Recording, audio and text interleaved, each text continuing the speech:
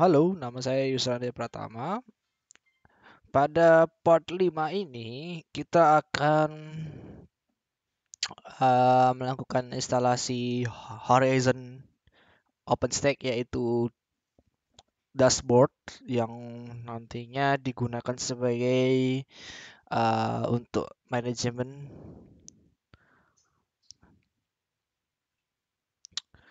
uh, fungsi utama si Horizon ini adalah fungsinya untuk manajemen uh, berupa web base ya manajemennya yang nantinya kita bisa manage network, compute, uh, neutron dan lain-lainnya melalui Horizon ini. Namun sebelum kita melakukan instalasi di Horizon saya akan uh, demo ya untuk instalasi compute baru pada controller yang sebelumnya saya pernah bahas bagaimana cara menambah controller sorry menambah compute lain uh, ke controller oke okay. di controller ini kita bisa cek terlebih dahulu compute service list untuk melihat uh, apa saja yang service di compute jalan. Oke. Okay. Di sini uh, Nova Compute-nya sendiri mengikuti dari controller ya, controller sendiri karena kita installnya di lokal. Oke. Okay. Untuk tahap awalnya di sini kita harus uh, rubah dulu ya hostname. Kita ralat ini menjadi compute kemudian kita modifikasi lagi di um, host Nah, di sini tadi kan dibentuk jadi kita ubah ke compute, kemudian di bawahnya kita tambah IP manajemennya si controller, kemudian compute, kemudian Cinder, kemudian Swift. Oke, setelah langkah ini selesai, sekarang kita modifikasi sysctl-nya untuk aktifin IP forwarding. Kemudian kita cek lagi sys uh, bentar sysctl min p Oke. Dan forward sukses. Kemudian kita konfigurasi kecil di networknya seperti kita konfigurasi pada controller ya sama address kita tambah address di sini saya tinggal nambahin uh, netmax. Kemudian gateway. Kemudian DNS name server. Kemudian kita tambah uh, interface baru DNS 19 inet static. Ini untuk IP manajemen dia nggak pakai uh, sorry. Dia nggak pakai gateway. Langsung aja. Next. Dan kita uh,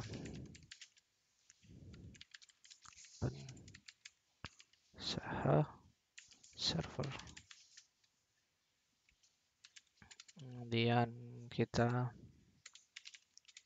restart network dulu ya. Network restart.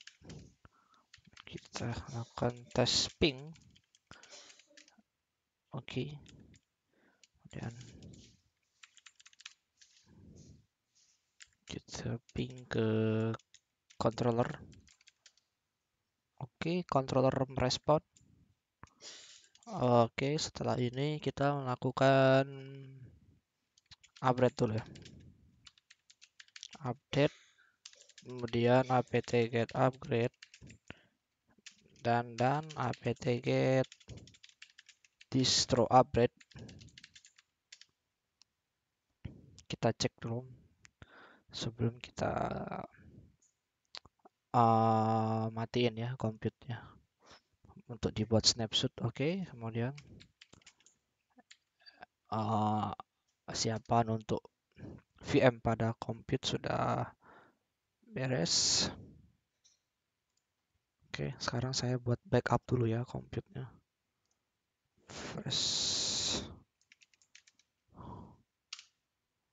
Saya harus buat backup dulu. Kemudian setelah ini baru kita melakukan instalasi uh, eh, KVM-nya ya. Jadi langsung kita lakukan instalasi. Ya, kemudian setelah ini kita akan mencoba reconnect lagi ya.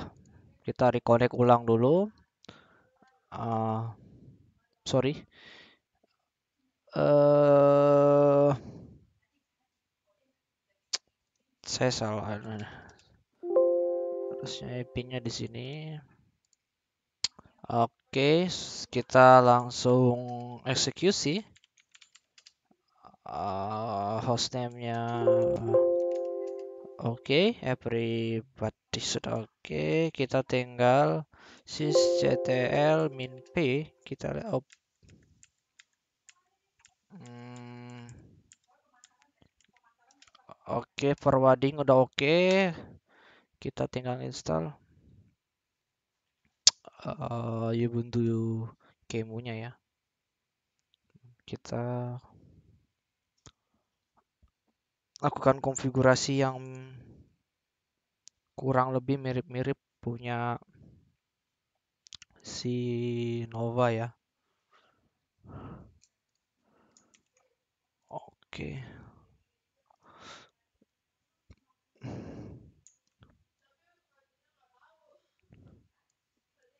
Placement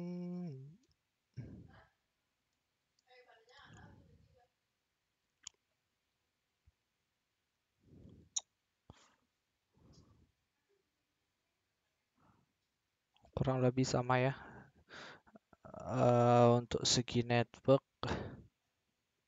tidak ada yang berbeda.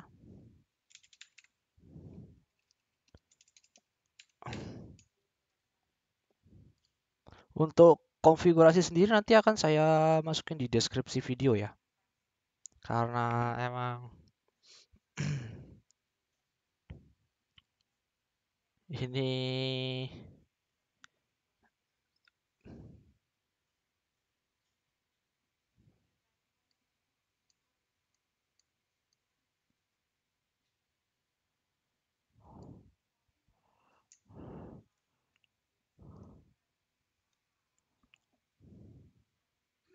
lumayan ya prosesnya untuk instalasi packagingnya ini dari uh, OpenStack Nova ini ke compute-nya. Kemudian ketika kita sudah melakukan restart, nanti akan kita update ya discover host yang pada um, pada di bagian tiga ya part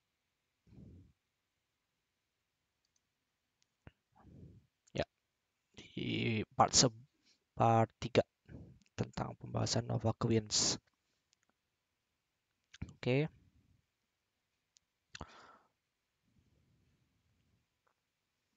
Ketika ini sudah selesai, kita akan akan konfigurasi seperti pada part 3 yaitu dengan membuat konfigurasi baru yang lamanya kita ubah jadi ke backup aja atau cadangan saja. Nah, kemudian setelah tutorial ini kita akan lanjut ke bagian namanya Horizon ya, seperti yang tadi awal-awal video saya bahas. Itu udah tahap final ya. Sebenarnya kan final sih. Ini biar lebih enak aja.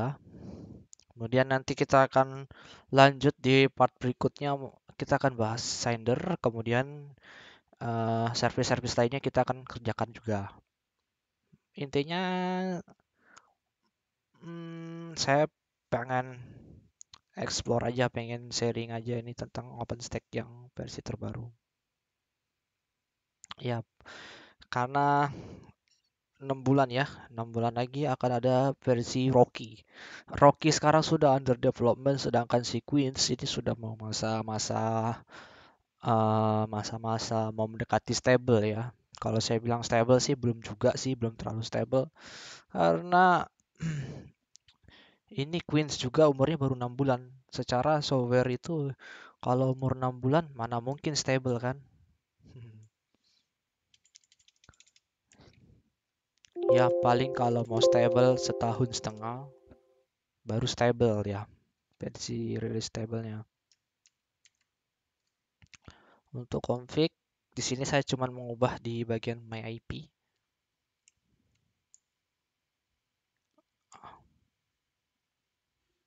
Oke, di my IP. My IP ini saya masukin IP manajemen punya si cloud ini.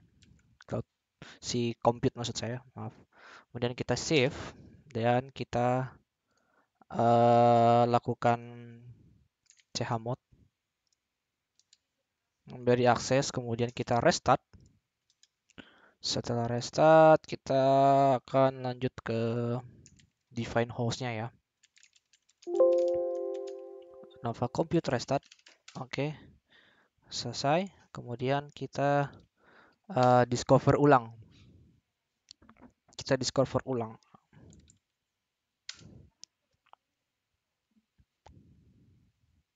Harusnya dengan secara tidak langsung ini harusnya udah masuk ya.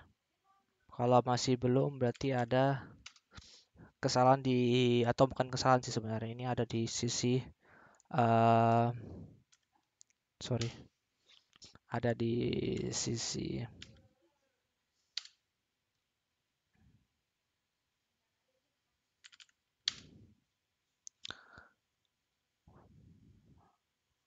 ada di sisi KVM-nya. Install ke network node-nya dulu karena dia belum ke bridge.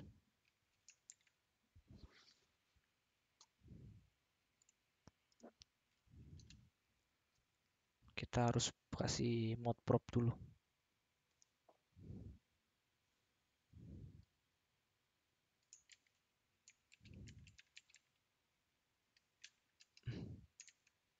dari sisi sini dulu.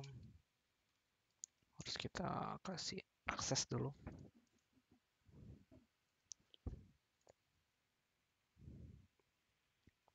Dia nggak bisa sinkron karena mungkin nggak dapat network kah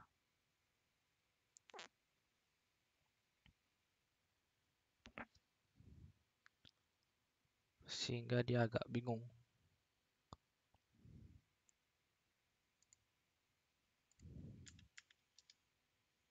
Harusnya tidak masalah. Dari sisi komplit pun aman. Kalau kita cek dari varlog harusnya tidak ada masalah.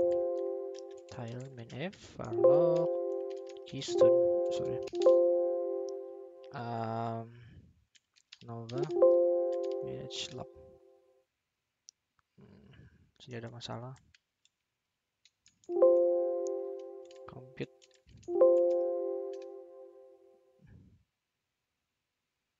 Ya.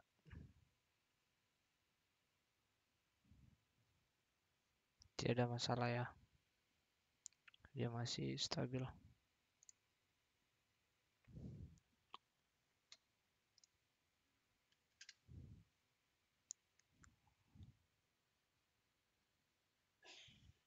Oke, kita udah enable, kemudian ke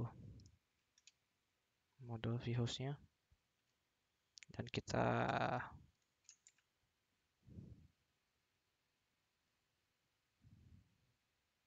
bridge terlebih dahulu. Interface. Kemudian kita buat Bridge Network.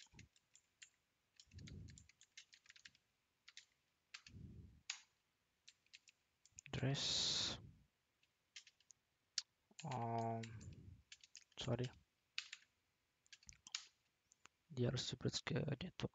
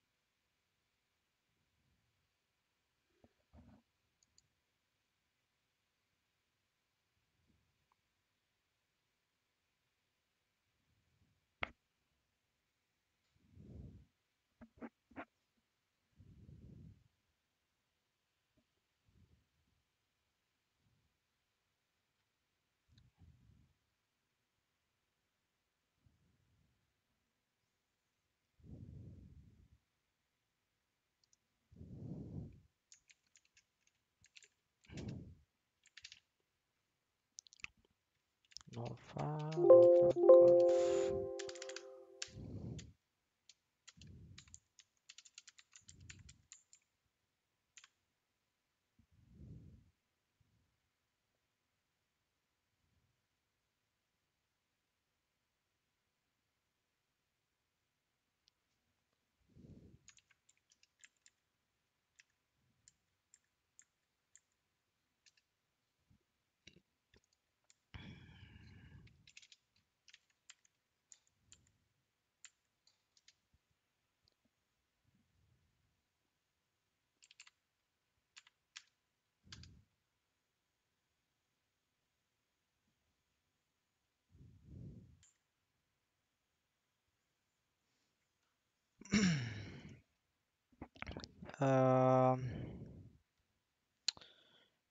jadi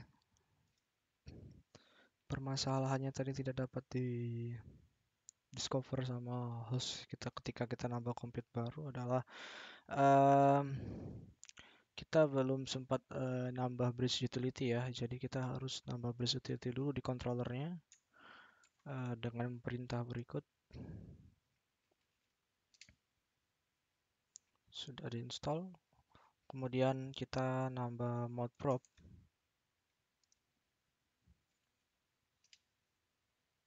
Dan kita grab hostnya. Apakah dia udah running atau belum? Nah seperti ini.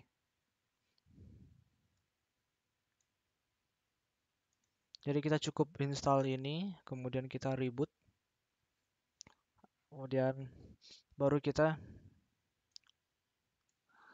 execute command ini. Ya alasannya tadi kenapa sempat stuck saya searching di permasalahannya cuma masalah kecil.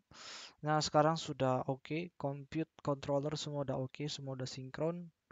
Terakhir upnya itu jam berapa servisnya jam berapa ini uh, jam 5 ya. Saya belum sinkronkan jam server antara ini Oke, di sini saya berhasil menambahkan controller. Terus kemudian saya tambahkan host di compute, compute. Oke.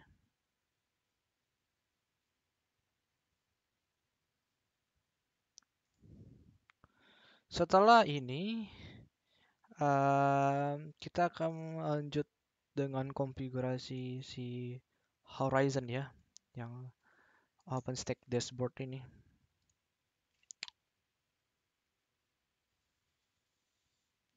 Install dulu.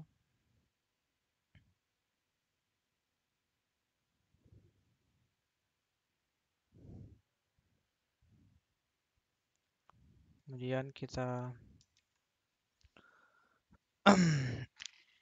uh, kita lanjut dengan konfigurasi local setting py. Ini uh, punya si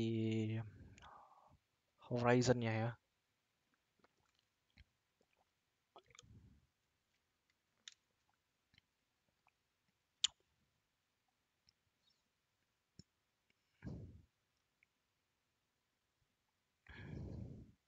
Jadi kawan-kawan bisa trial and error ya sendiri nanti.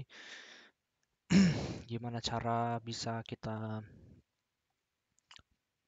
melakukan troubleshoot sehingga tadi terjadi error yang kita tidak sangka-sangka. Kenapa dia tidak mau bisa attach new compute compute baru? Karena cuman gara-gara interface-nya kita belum mod prop ya. Oke. Okay.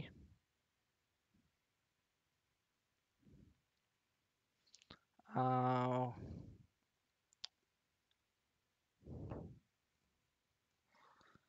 akan create sistem dulu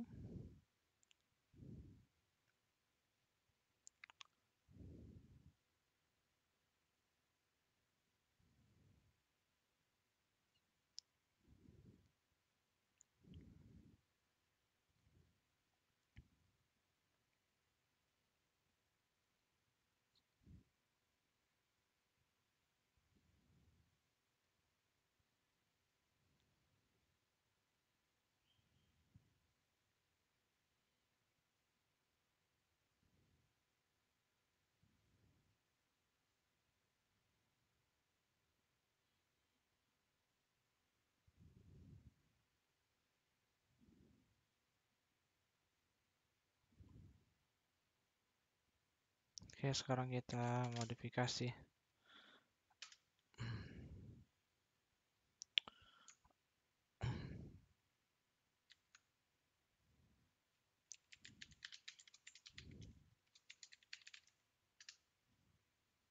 Kita aktifin dulu ini. Kemudian di domain kita aktifin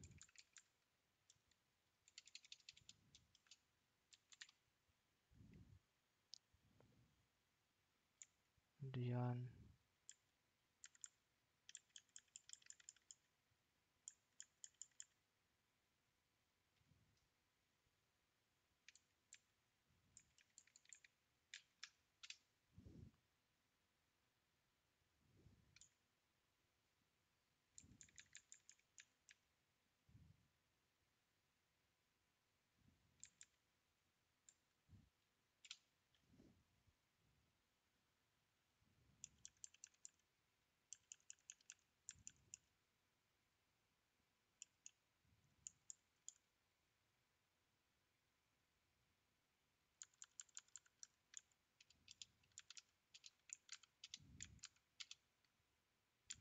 aktifin untuk security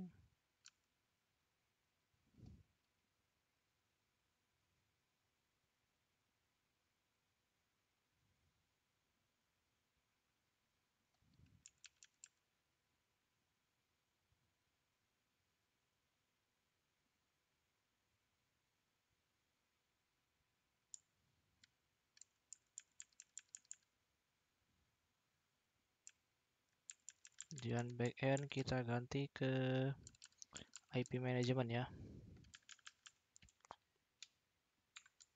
10 tak 10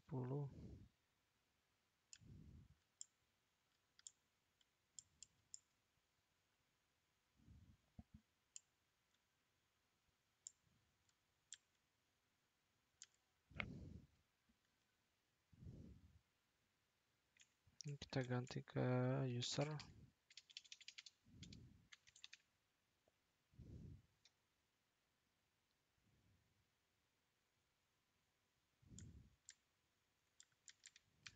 dan kita ganti ke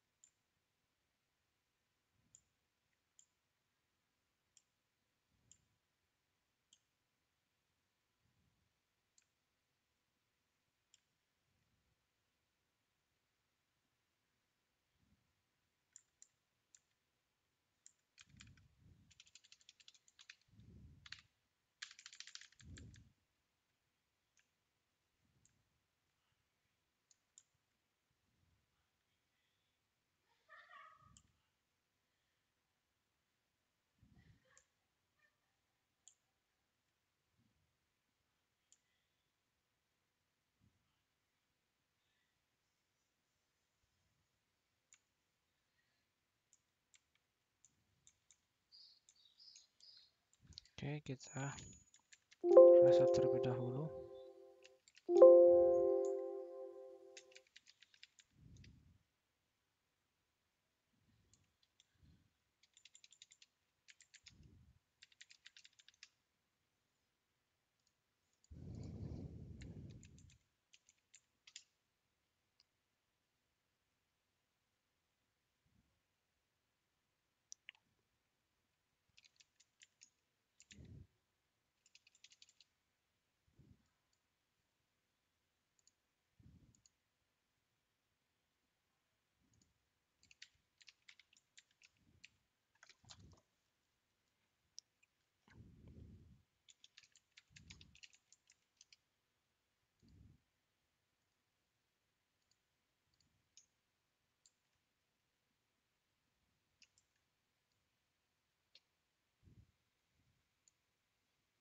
Seperti ini hasilnya.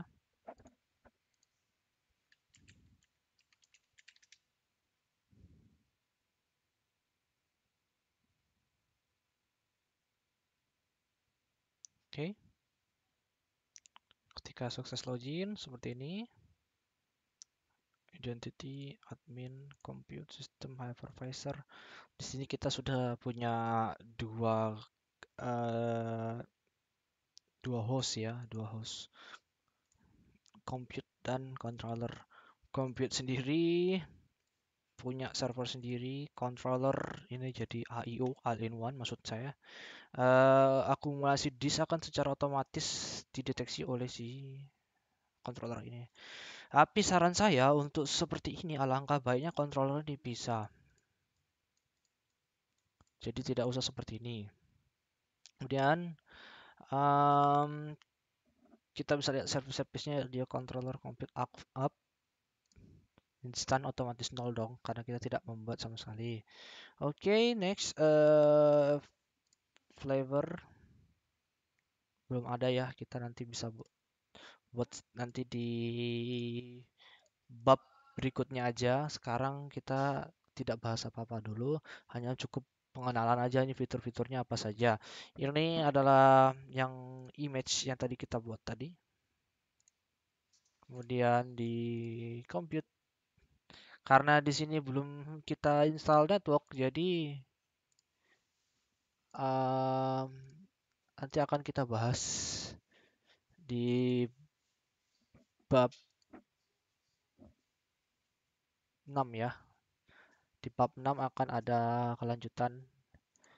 Ini saya belum sempat cek satu-satu karena di bagiannya itu masih on progress untuk diintegrasikan ke sini. Oke, uh, cukup sekian. Terima kasih atas waktunya untuk mengikuti sesi-sesi yang saya buat ini. Untuk di part 6-nya mungkin akan kita akan bahas tentang storage dulu karena di sini juga belum ada storage ya. Akan otomatis di uh, kebuat ya ter, nanti kalau sudah kita konfigurasi. Ini masih on progress. Saya buat bab 5-nya uh, part 5-nya ini karena uh, untuk menyambung pelajaran yang ada di bab 3 ini agar lebih mudah aja hasilnya. Oke. Sampai ketemu di bab berikutnya ya. Terima kasih.